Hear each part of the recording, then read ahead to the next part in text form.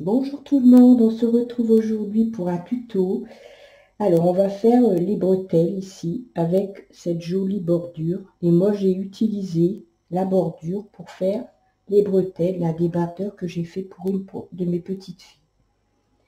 Donc ce point c'est sur la brosseur électronique. Donc c'est le 224 sur le livre euh, Stitch World. Là où il y a tous les points fantaisie, les jacquards, etc. Et puis la bordure, on va la faire ensemble. On croirait que c'est une bordure euh, au crochet. Mais non, c'est une bordure qui est faite sur la machine. Vous allez voir, c'est pas compliqué à faire. voyez? C'est très très beau. En fait, c'est des petits groupes, des petites grappes de trois séparées par 10 rangs. Voilà. Et puis j'ai fait aussi le petit turban assorti. Donc là j'ai fait un point euh, que j'ai programmé moi-même sur la machine. Et j'ai trouvé que ça rendait très très bien. Voilà. Voilà, donc on va faire la petite, les bretelles, le point de bretelles ensemble.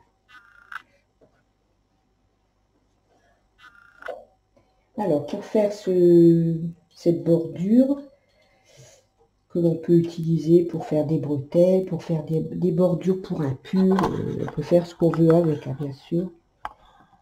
je vais essayer de me mettre prêt. Prêt, possible. Vous voyez bien comment ça fonctionne.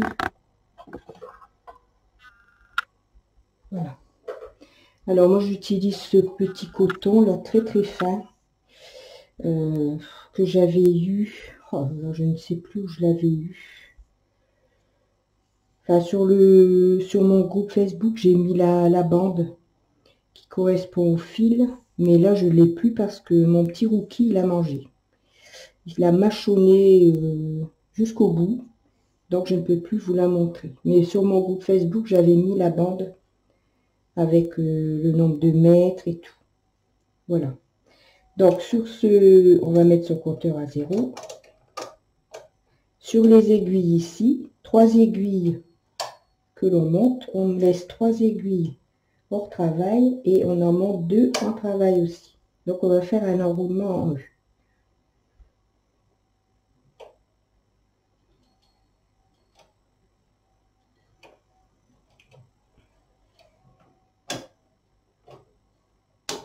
Donc moi j'ai mis densité 4.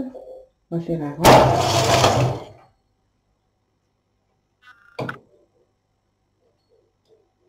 On va monter ces aiguilles quelques rangs.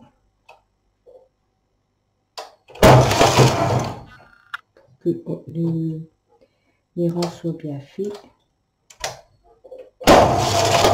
Et ensuite on va mettre un petit poids de lisière. Voilà. Donc, je dois faire 20 rangs.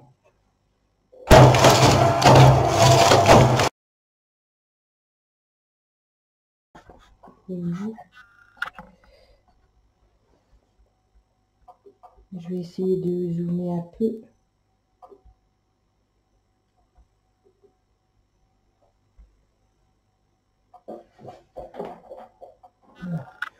Comme ça, on voit mieux. Alors, vous voyez, ici, on a les rangs ici, le fil, ce sont les trois mailles ici qu'on n'a pas tricoté. Donc on prend, on prend son poinçon. Alors quand on a l'habitude, on fait directement avec les trois poinçons, mais au début on fait avec le premier poinçon. Et on va compter 2, 4, 6, 8, 10. Et là où il y a le fil, on va prendre les trois mailles ici et on va les reporter sur les trois aiguilles. Comme ça.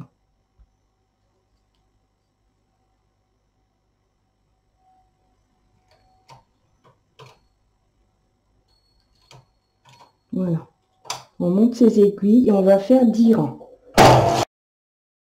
Retirez votre votre, votre poids de lisière.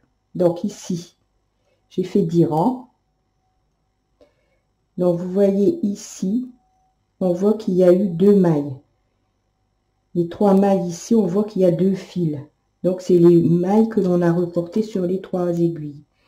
Donc, le rendu dessus, ici, on va les, on va les mettre sur le poinçon à trois chats,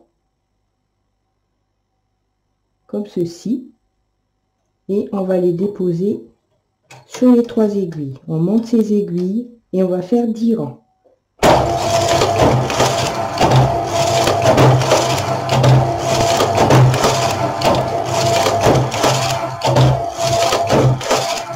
Donc, je vais vous remontrer ma bretelle. Donc, vous voyez ici, on a fait le premier, le deuxième, ici. Voyez, on a la, petite... Euh, on a les deux premières ici, celle-ci. Et on va faire la troisième.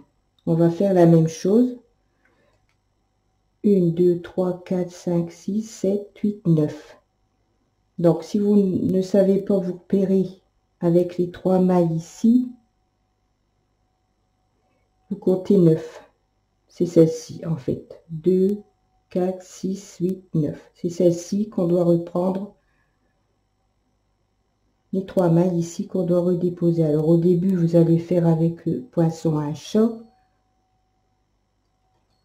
2 et 3.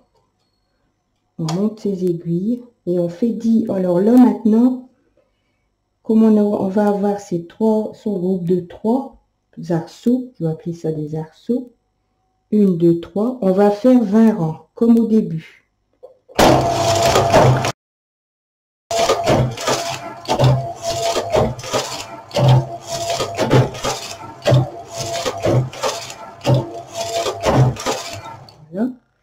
Et on va faire comme au début. On va compter 2, 4, 6, 8, 10.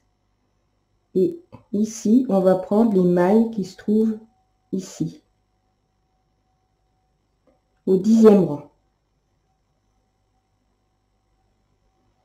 Et on les dépose sur ces trois aiguilles.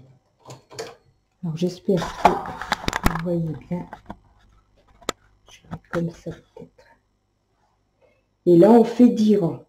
Ce qui veut dire qu'entre chaque arceau, entre chaque arceau, on fait 10 rangs. Et quand on a fait les trois arceaux, on fait 20 rangs et on recommence. Je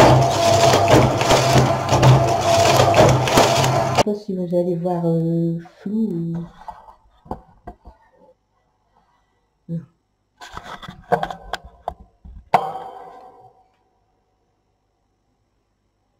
Donc, vous voyez, on a, on a fait ces 20 rangs. Donc, on compte 2, 4, 6, 8, 10. On est ici. Donc en face, on a les trois mailles. Donc on prend une maille, deux mailles et trois mailles. Et on remet sur les aiguilles. Donc maintenant, on a fait le premier arceau, on va faire 10 rangs.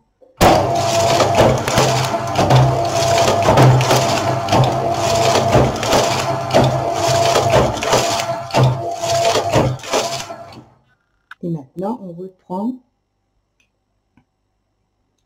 ici.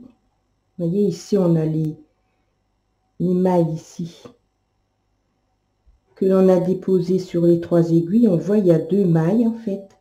Il y a deux mailles. Donc, on prend celle d'au-dessus. Celle au-dessus, ici. Une,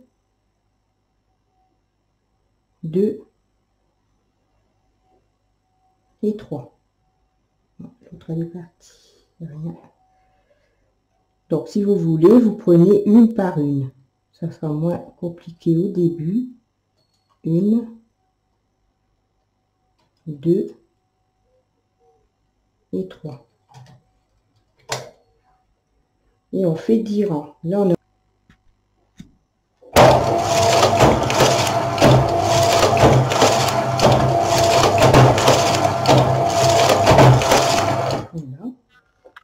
on a fait deux arceaux, on va faire le troisième. Donc on fait comme je vous ai montré ici, ici. On a les, les deux mailles sur chaque aiguille qu'on a déposé. Donc on prend celle d'au-dessus, comme ça. Une,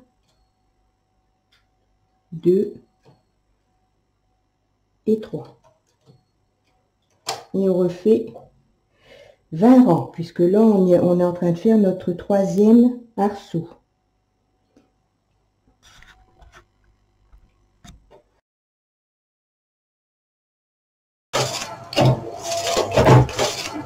Voilà.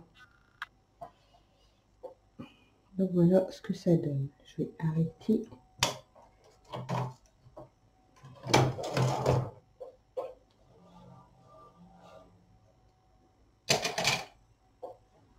Je vais vous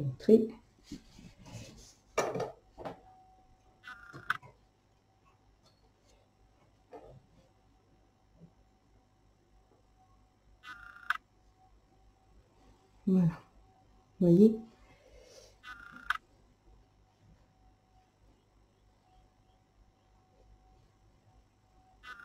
C'est très beau, c'est très très joli, c'est très fin.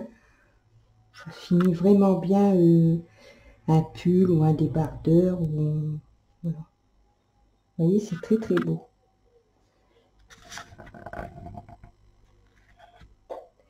Voilà, donc euh, sur la vidéo, je mettrai, je ferai une, un récapitulatif pour le, entre les trois arceaux, on fait 10 rangs, au, au dernier, au troisième arceau, pardon, on fait 20 rangs, pour qu'on ait toujours 10 rangs. Puisque au 20, au, quand on fait les 20 rangs, on redescend de 10 rangs et on reprend les mailles pour commencer les arceaux.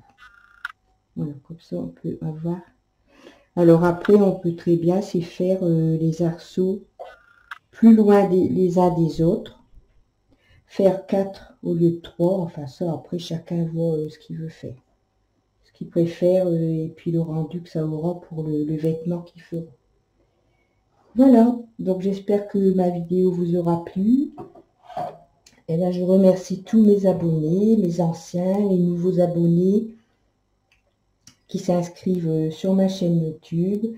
J'accueille tout le monde avec un grand plaisir. C'est toujours beaucoup de plaisir pour moi de partager mes tutos et mes vidéos.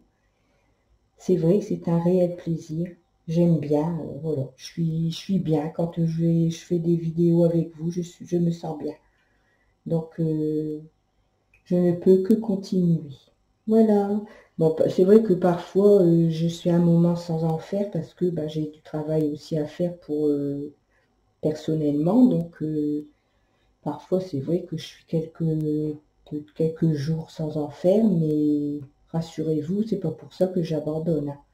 C'est parce que bah, j'ai des commandes à faire pour ma petite famille et puis des choses aussi à faire pour la maison. Enfin, là, c'est le moment du jardin, donc il faut quand même euh, préparer, faire les semis, ceci, cela. Donc euh, voilà. Donc euh, j'espère que mon tuto vous aura plu. Je l'avais promis à plusieurs personnes qui m'ont demandé si je pouvais faire cette jolie bordure. Donc c'est une bordure que j'avais vue sur YouTube. Je sais plus le nom de la dame, je sais plus comment elle s'appelle. je le mettrai dans la description sous la vidéo, je le mettrai. Parce que je ne voudrais pas euh, qu'on dise que je prends les idées d'autres youtubeuses. Donc je mettrai le, nom de la dame. Je vais rechercher la vidéo je mettrai le nom. Voilà, comme ça, ça sera clair. Voilà, je vous fais des gros gros bisous. Je vous souhaite une bonne fin de journée et je vous dis à bientôt.